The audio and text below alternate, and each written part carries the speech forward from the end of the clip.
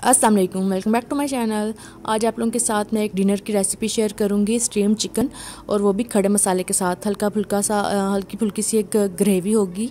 और बहुत ही इजी सी, झटपट बनने वाली रेसिपी है। बहुत ज़्यादा इंग्रेडिएंट्स भी यूज़ नहीं होंगे।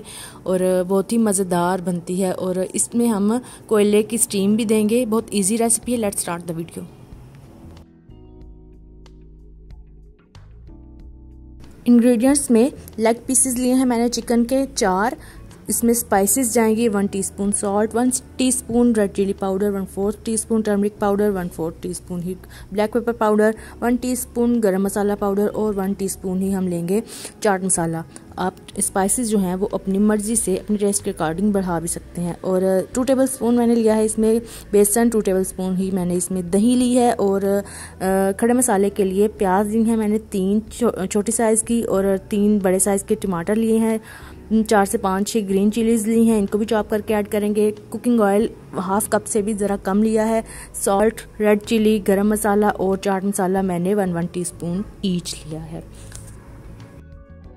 सबसे पहले चिकन के पीसीस पे हम कट्स लगा लेंगे। जिन जगहों पे ये जो थाइस वाला पार्ट होता है, ये जगहें जो हैं काफ़ी टाइम लेती हैं गलने में भी और इनमें अंदर तक स्पाइसेस भी नहीं जाती। तो यहाँ पे कट लगा लेंगे ताकि जब हम इसको मैरिनेट करें तो स्पाइसेस अंदर तक जाएँ और बड़ा मज़ेदार सा जूसी सा इसका फ्लेवर आए और कुक भी जल्दी हो जाएगी।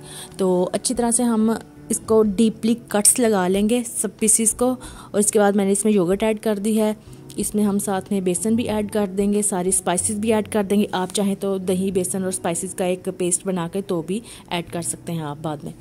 और अच्छी तरह से मैं इसको अब मिक्स करके और चिकन के पीसीस पे कोट कर दूँगी। जो कट हमने लगाए हैं, इनके अंदर तक हमने जो ये मसाला है बैटर है, इसको अच्छी तरह से कोट कर देना है ताकि अंदर तक इसके मैरिनेशन जो है अंदर तक चली जाए और जब हम इसको स्टीम करेंगे तो बहुत जल्दी ये कुक भी हो जाएगी और बहुत मज़ेदार अंदर तक जूसी ये फ्लेवर आएगा।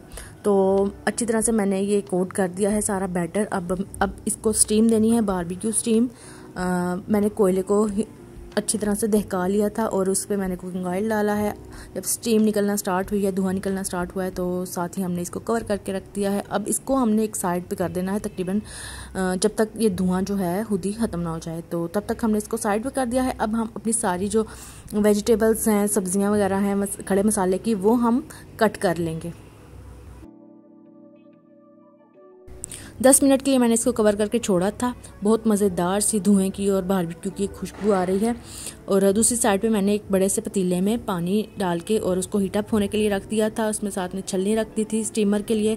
मेरे पास स्टीमर नहीं है। अगर आपके पास स्टीमर है तो वेल एंड गुड स्टीमर नहीं है तो मेरी तरह आप एक छलनी रखेंगे बीच में और इसको जब वो पानी हीटअप हो जाएगा तो बीच में चिकन के पीसेस रख के उसको दोबारा से कवर कर देंगे कुक होने के लिए स्टीम होने के लिए। तकरीबन 10 से 15 मिनट में हमारी चिकन जो है वो स्टीम हो जाएगी। उसको एक दो, एक आध दफ़ा मैं इसको पलट भी दूँगी बीच में। और यहाँ पे मेरी छोटी बहन जो है वो टमाटर और हरी मिर्चें काट रही है।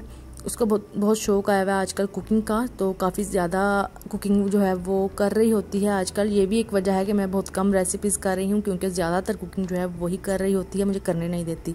तो ये वेजिटेबल्स काट रही है टमाटर और हरी मिर्चें।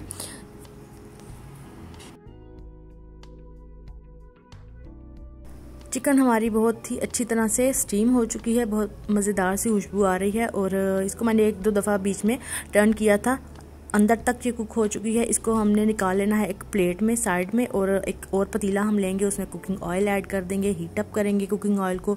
साथ ही उसमें अनियंस ऐड कर देंगे थोड़े थोड़े से अनियंस वगैरह, टमाटर और हरी मिर्चें मैंने बचा ली हैं।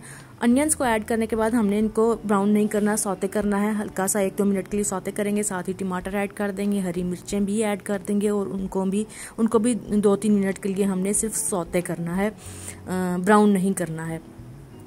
क्योंकि हम खड़ा मसाला बना रहे हैं, इसलिए हमने इसको सौते करना है। अगर आपने खड़ा मसाला नहीं और ग्रेवी वगैरह बनानी है तो आप इसको ज़रा ज़रा सा ब्राउन भी कर सकते हैं। साथ ही मैंने इसके स्पाइसेस सारी ऐड कर दी हैं, लाल मिर्च नमक, गरम मसाला और चाट मसाला भी। तो हल्का सा मैं इसको दो तीन मिनट के लिए सिर्फ़ भूनूँगी, ताकि जो कच्चा पान है, वो निकल जाए।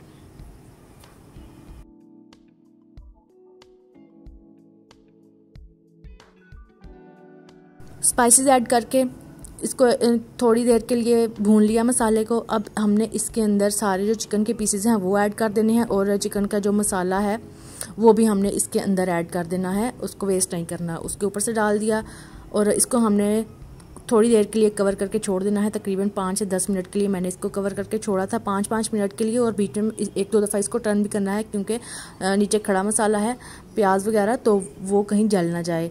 तकरीबन 10 से 15 मिनट में एक दो दफ़ा पलटने के बाद हमारा स्टीम चिकन खड़े मसाले के साथ रेडी हो चुका है। बहुत ही मज़ेदार सी खुशबू आ रही है। दोबारा से आप चाहें तो कोयले की स्मोक दे सकते हैं इसको टेस्ट को ज़्यादा डेवलप करने के लिए। तो बहुत मज़ेदार सी ये रेसिपी है। ट्राई करिएगा और इसको आप चटनी के साथ सलाद के साथ, तंदूर की रोटी के साथ सर्व करेंगे, जैसे चाहे आप सर्व कर सकते हैं। बहुत ही मज़ेदार बनता है ट्राई करिएगा और नई नई रेसिपीज़ के लिए मेरे चैनल को सब्सक्राइब कर लें और अपडेट्स के लिए आप मुझे फ़ेसबुक और इंस्टा पे फॉलो कर सकते हैं। अल्लाह हाफिज़।